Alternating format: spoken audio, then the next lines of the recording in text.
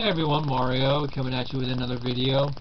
And I bet some of you are probably wonder, looking at the title and going, what, you actually went? And yes, the glasses probably give it away.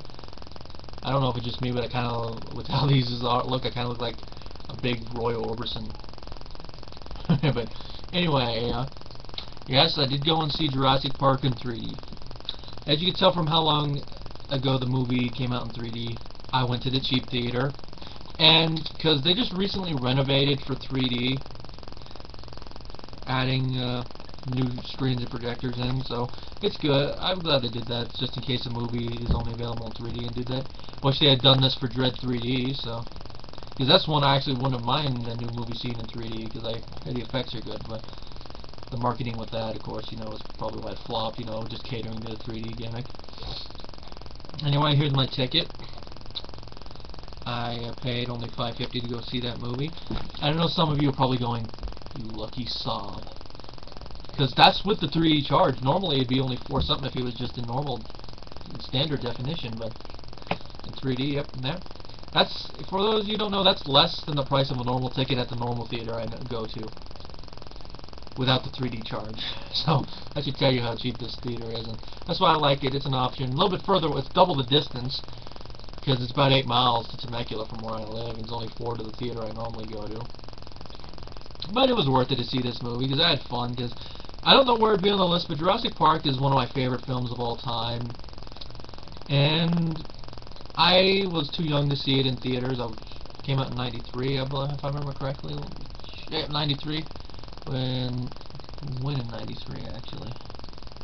June 93, so I was four at the time, so didn't get to see it, so it's one of those films like, uh, I can't believe I didn't get to go see it. Or if I did, I don't remember. Because I know I saw Lion King when it came out, and it was around the same time, but I don't remember seeing this, but... So, finally being able to see it on the big screen, uh, it's one of those things I was gl glad I was able to, to, see it, and I don't know if it's the fact that uh, I've only ever watched it on VHS, I've never watched it when it's on TV, I've never watched it on DVD, but the movie, well, obviously the movie will look clearer since compared to a VHS, but I just could appreciate the film a lot more on there. I could appreciate the visual effects more. I could appreciate how the film was shot more. Even without, even the 3D effects notwithstanding, I could appreciate everything a lot more. Even the acting I could appreciate a little bit more. Especially know, all the sound effects, like the dinosaur no noises, especially the T-Rex and Velociraptors, I could appreciate a lot more hearing it from the special thing. And uh, I remember talking with my buddy Efrey about this movie in passing once one, one time on Skype, and I can see what he means about going from watching this movie in the theater and watching it on TV, how being unimpressive. I can see now what he means by that. But going in reverse order, I can appreciate the film more. And this is just one thing I noticed. I don't know if this is something that they cut a little bit of it when they put it on VHS and maybe restored to the DVD or just restored it for this release. But I noticed noticed a couple extended dialogue sequences because I remember before in the scene where Nedry's getting bribed, he would on my VHS he just goes, "Don't get cheap on my Dodson," and then when Dodson's getting the money, there's no more dialogue before it cuts away. In this one, he went, "That was Hammond's mistake." Right afterwards, and he's eating the chip at I'm like, that's new. And then there was a couple other small ones, but that's the one that sticks out. So I was wondering. Anyone, if anyone knows the answer to that, let me know.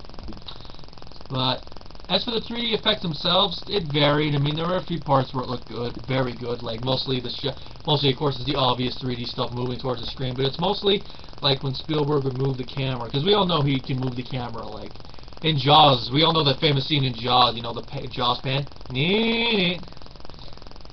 and he does pan in his movies sometimes. Like the the first time you can see that they did put a little bit of effort into the 3D, into the 3D in this film is when we first see Muldoon with the shotgun there. It looks pretty good.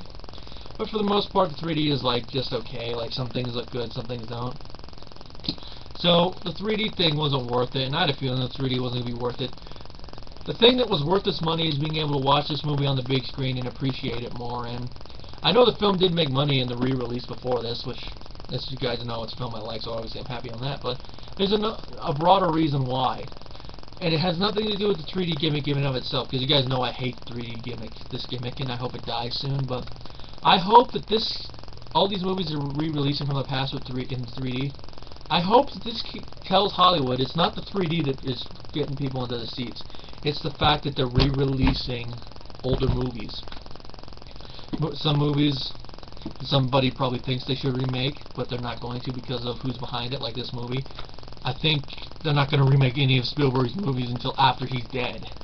He's just one of those directors like, ah, you want to remake Spielberg? Like, look at Hitchcock. The only person that could remake Hitchcock when he was alive was Hitchcock. you know, anyway, let's see if anyone gets what I mean by that.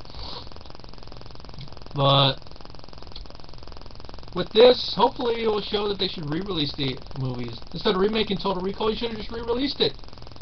Instead of remaking RoboCop, you should have just re-released it. Because not only does it does it guarantee money, because obviously someone's going to go see it, despite the marketing money, you'll at least break even with the marketing money. But also, you don't have to put out that initial big investment. Well, you semi do when you convert it, convert it to 3D, which is why I think that's a waste of time. But when you remake a movie, you're spending 20 million plus, depending on what movie you're making. Like Total Recall, I think costs around 30 and up, maybe 50 million. I don't, I don't remember exactly, but they didn't even. I don't, if I remember correctly, I think they barely broke even with that. Now imagine if they had re-released the original, they would have made that, and that would have been on top of what Total Recall made when it was first released. So it would have been just money on top of money. If they had re-released Total Recall in theaters, I would have gone and seen it. Maybe not in the normal theater, but I definitely would have gone and seen it in the cheap theater. If they were to re-release RoboCop tomorrow, I would go see it.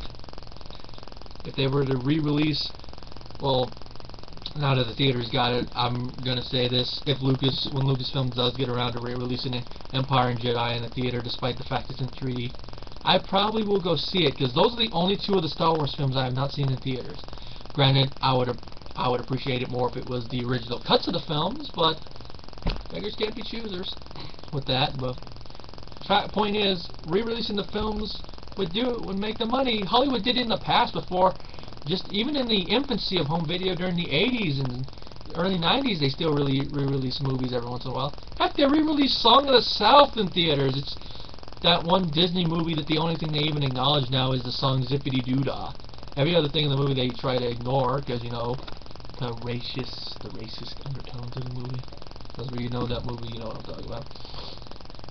But they should re-release more movies. I would love, like, I would, I'll probably do another video on this on films. I would love to see. I would love to see double billings in movies, like re-release some, of- like around Halloween, re-release old horror movies in theaters.